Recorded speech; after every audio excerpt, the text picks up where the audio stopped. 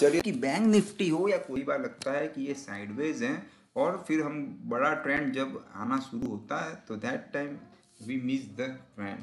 तो चलिए दोस्तों, ये बॉलिंगर मैन का एक सेटअप है narrow and wide breakout right तो आपको कैसे पता चल सकता है? तो यहाँ पे आप देख the bank Nifty index future daily chart यहाँ पे आपको दिखेगा कि बॉलिंगर बैंड की अपर बैंड भी नीचे आ रही थी और लोअर बैंड ऊपर जा रही थी, जिसे हम कहते हैं बॉलिंग स्विंग होना राइट तो यहाँ पे आप देख सकते हो कि स्विंग तो हो चुकी है बट स्विंग होने के बाद दिक्कत ये है कि ब्रेकआउट कहाँ पे आएगा? तो ब्रेकआउट के लिए we can combine elements of price action so price action का सबसे इंपॉर्टेंट पार्ट है gap up and gap down तो यहाँ पे आप देख सकते हो कि यहाँ, ये दिन तक तो बैंड नैरो ही थी इन दिस कैंडल बट ये जो बैंड नैरो थी, उसे वाइड होने के लिए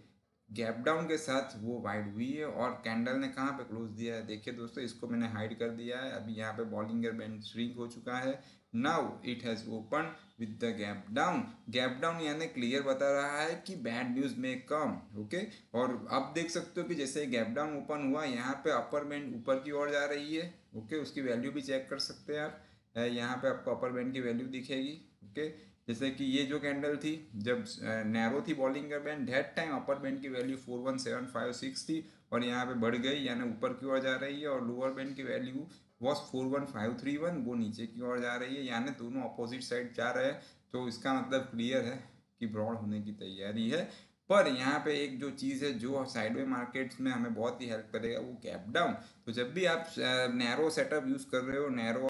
दैट टाइम याद रखिएगा कि we should combine the price action to find the proper breakout यहाँ पे अभी हो चुका है गैप डाउन और नीचे की ओर लोअर बैंड जा रही है, ऊपर की ओर अपर बैंड जा रही है, यानी कि बड़ी मूवमेंट तो आना तय है, वो अपर बैंड और लोअर बैंड बोल रहा है, लेकिन कौन सी और उसके लिए हमें हेल्प करेगा गैप डाउन अभी यहाँ पे आप देख सकते हो, जैसे ही ये कैंडल का लो आज ब्रेक होता है राइट तो वो हो चुका है ये आज का कैंडल है। अभी ये जो नैरो मूवमेंट थी उससे हमें छुटकारा मिल गया अभी स्मूथ जोन में हम एंटर होने जा रहे हैं और अपर बैंड और लोअर बैंड के बीच में गैप जितना बढ़ता रहेगा उतना फॉल आने का चांसेस है। फॉल तब तक आ सकता है जब तक ये गैप डाउन फिल नहीं होता है राइट अभी यहाँ पे हम previous fill this gap down okay and gap must be fill ऐसी थियरी से जितना हो सके दूर रहिएगा ओके okay, अभी फ़िलहाल के लिए ये जो बॉटम है उसे टेस्ट कर सकता है ऐसा लग रहा है। और जब ये ब्रॉड हो जाएगी तब तो पूरा जो अर्निंग्स होता है, जो भी उसका पल्प होता है, वो मिस हो जाता है। तो जब भी बैंड नैरो होती है, उसके बाद ब्रॉड जैसे यहाँ पे भी नैरो हुई थी। बट यहाँ पे कोई गैप अप गैप डाउन नहीं था। बट दिस टाइम हमें गैप अप और गैप डाउन मिल रहा है। इवन हमें और भी प्राइस एक्शन से कंबाइन कर सकते हैं। ओके जैसे लोअर टॉप बनना तो क्लियर कर दिख रहा है कि सबसे जो चीज़ है, हमें एनालिसिस करना है नज़दीक के एरिया में। तो ये गैप डाउन है। तो ये कल जो लो था it was four zero nine five zero वहाँ से फॉल शुरू हुआ है। दिखते हैं कितना गिर सकता है। निफ्टी की बात करें तो निफ्टी में there was no gap down right तो बैंक निफ्टी में हमें ये चीज़ मिली है। तो ये हो गया नैरो और तो, तो इसको ध्यान रखिएगा चलिए निफ्टी भी देख लेते हैं। थोड़ा इश्यू आ रहा है अभी ट्रेडिंग व्यू में।